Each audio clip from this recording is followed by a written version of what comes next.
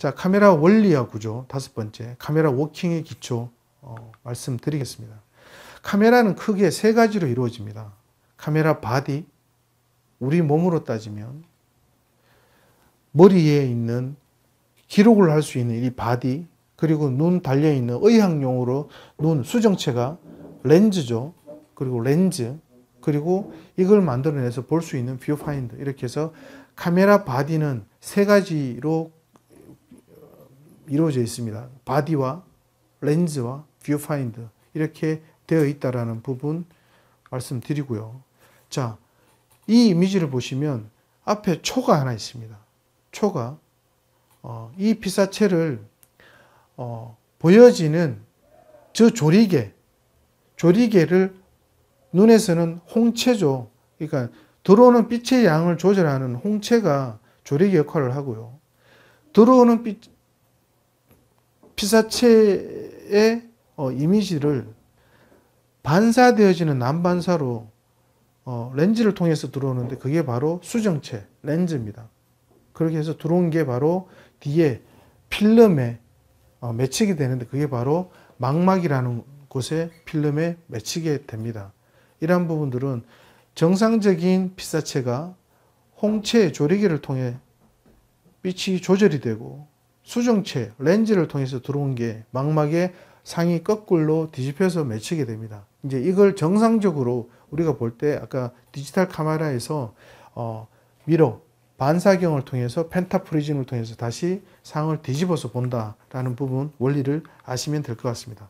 자, 빛의 삼원색입니다. 저희가 white balance를 이렇게 맞추는 건 떠돌아다니는 빛의 색깔은 RGB입니다. red, green, blue입니다. 이 세 색깔을 섞으면 흰색, 하얀색이 나옵니다. 그래서 모든 디지털 기계, 기계들은 떠돌아다니는 빛을 담아내는 기계이기 때문에 그 공간에 정확한 흰색을 100% 흰색을 잘 white balance를 맞춘다면 red, green, blue, 빛의 삼원색 다양한 빛을 정확하게 만들어낼 수 있고요. 그와 반대로 물감의 삼원색 칠해진의 물감을 cyan, magenta, yellow를 섞으면 black이 됩니다. 그래서 물감의 삼원색은 black 그리고 우리가 white balance를 맞추는 건 빛의 삼원색이 red, green, blue를 섞으면 흰색이 되기 때문에 빛의 삼원색에 의거해서 white balance를 맞춘다라는 부분 확인하시면 될 것 같고요.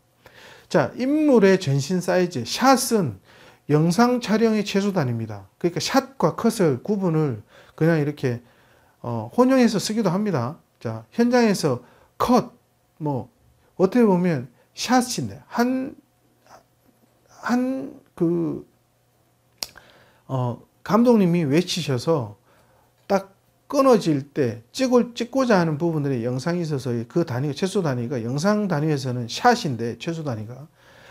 컷은 편집 단위의 최소 단위가 컷입니다. 그런 부분에 있어서 인물의 샷 구분에서 영상 촬영의 최소 단위는 바로 샷이다. 네, 샷. 그러니까 인물을 두고 샷을 만약에 나눈다면 발끝에서 머리끝까지가 풀샷, 이미지에 보여지는 것은 풀샷입니다. 그리고 무릎까지가 니샷입니다. 니샷.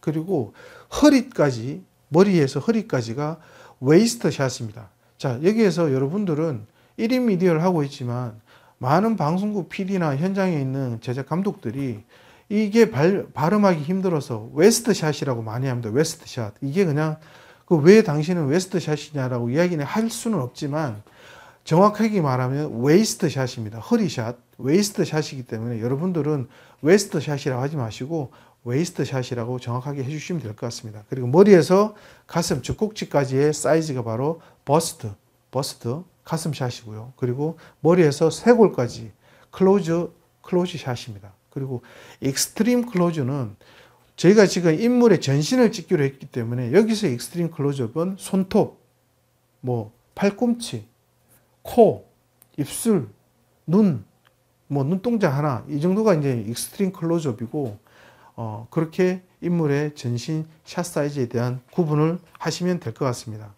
그래서 샷은 원샷, 투샷, 3샷까지는 이렇게 shot을 구분합니다. 그래 3샷 이후에 4명부터는 group shot이라고 일반적으로 많이 합니다. 그리고 좀 전에 동주 이미지에서 보셨던 것처럼 인물의 두 사람이 대화해서 어깨를 걸고 상대편의 이미지를 찍는 over the shoulder shot이 있고요. 그리고 이미지 shot에서 어떠한 사람이 어, 위쪽에 있는 자유의 여신상을 보고 있다라고 했을 때 자유의 여신상에서 밑으로 보, 고 있는 어떠한 피사체, 주인공 피사체를 보여주는 걸 포인트 오브 뷰, POV 샷이라고 합니다.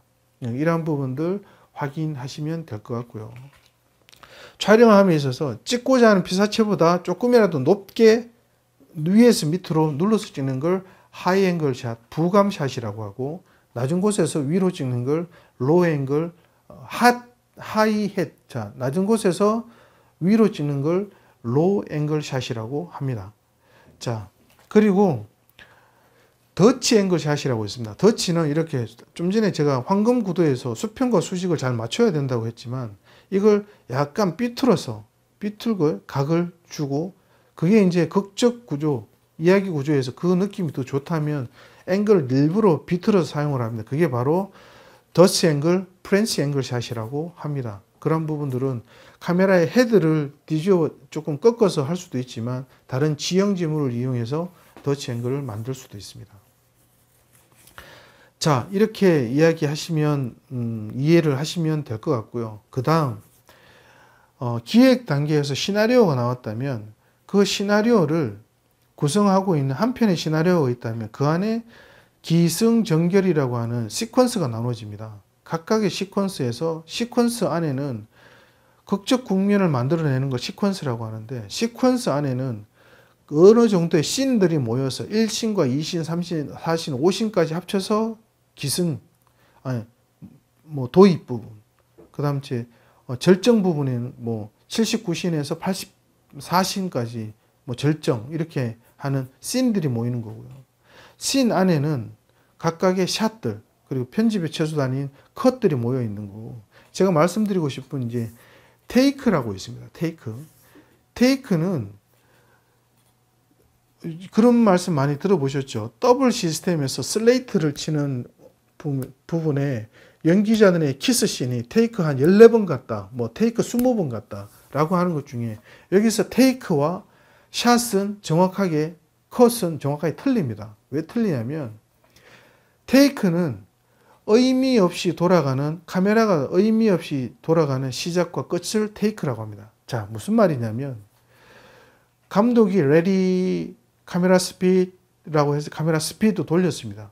근데 액션 실질적으로 감독이 액션부터 컷까지를 사용하는 시, 작과 끝이라고 생각한다면 카메라맨은 ready라고 camera speed라고 해서 speed라고 돌리 액션 전에 최소 1초, 2초, 3초, 4초 뭐 이 정도의 어, 의미 없이 돌아가는 시간이 있습니다. 그리고 컷이라고 했을 때도 바로, 바로 촬영팀들은 바로 REC을 끄지 않습니다. 그래서 끄지 않고 돌아가는 1초, 2초든 더 많은 시간이 흘러서 꺼지는 근데 그러한 부분의 take에서 감독들은 그 take가 마음에 들어서 사용할 수도 있습니다. 그런 부분.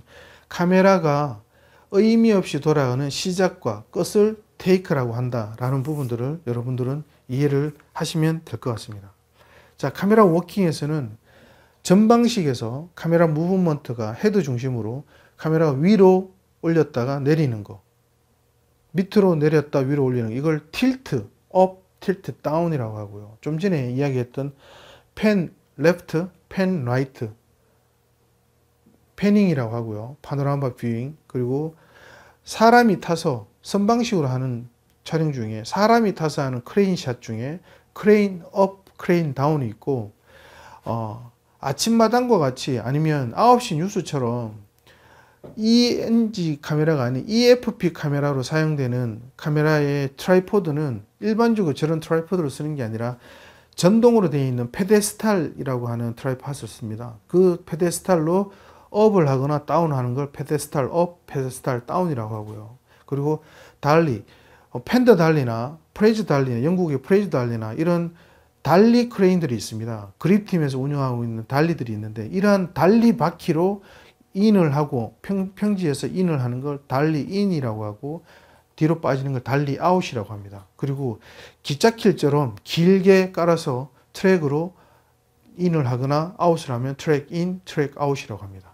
그리고 좀 전에 선방식 중에서 안정적인 자이로 드롭이나 이러한 안정적인 X축, Y축을 잡아주는 steadicam이라는 촬영 장비가 있고요. 그렇게 촬영해서 하는 방법을 handheld 들고 찍기라고 합니다. 자, camera working에서 마지막으로 컨비네이션 샷이 있는데 combination shot은 어, 저런 공포 영화 복도 신에서 인물은 그대로 있고 카메라는 뒤로 빠지는데 카메라에 있는 어, lens movement에서 zoom in을 하면서 카메라는 뒤로 빠지고 렌즈는 사이즈는 계속 그대로 유지하는 그렇게 되면 배경과 피사체 인물이 이렇게 굉장히 기이하고 형이상학적인 이미지를 만들어냅니다. 그게 바로 combination shot입니다. 자, 이렇게 해서 카메라 원리 구조와 카메라 어, working에 대한 기초를 일단 이해를 하셨고요. 1인 미디어를 하셔도 이러한 원리와 구조들 다 아시고 접근하신다면 더 high quality의 영상을 만들어 내실 겁니다.